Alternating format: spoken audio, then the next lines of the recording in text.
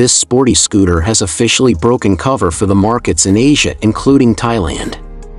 This bike iteration has come out as a direct replacement to the 150 cubic centimeters variant which was previously present. Apart from the displacement update, the scooter has also gained some notable feature additions as well as styling revisions. Welcome to Motoscoop. The latest model has become tad aggressive in terms of looks, a trend that's usually seen on bigger displacement models. Will this new scooter be available in the Philippines?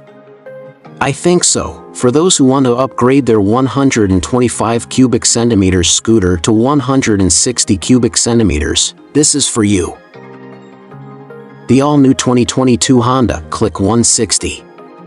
This scooter is not a maxi scooter but it does sport a large fender that makes it look almost like a maxi scooter. Overall the design is more like the Suzuki Burgman range of scooters in India but with a lot of sharp lines and angles in the design. Apart from that, the Honda Click 160 also features a flat footboard for added practicality unlike the Yamaha Aerox 155 sold in India and other international markets. The wheels are 14-inch alloy wheels front and rear, tire sizes are 180 front and 120-70 rear.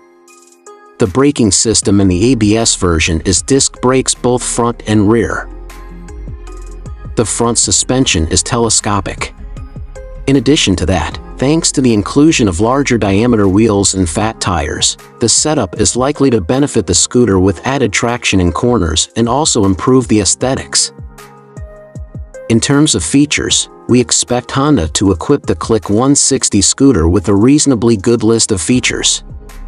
Moreover, according to Honda, the Honda Click 160 features a fully digital instrument console, USB charger, smart key ignition, LED headlamps, LED tail lamps, LED DRLs, ABS, and many more. The digital instrument cluster of the Honda Click 160 displays a variety of information such as fuel level, trip meter, average fuel consumption, speed and many more.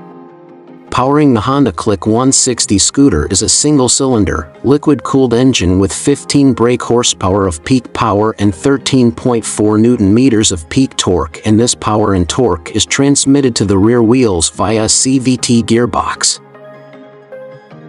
Honda Click 160 scooter is priced at 25,800,000 Indonesian rupiah approximately 91,600 for the CBS type and 28,500,000 Indonesian rupiah approximately 101,236 pesos for the ABS type.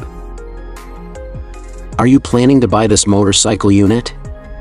Let me know in the comment box below. Also don't forget to hit the subscribe button. And if you enjoyed this video, you can leave a like and share it with your friends. Thanks for watching.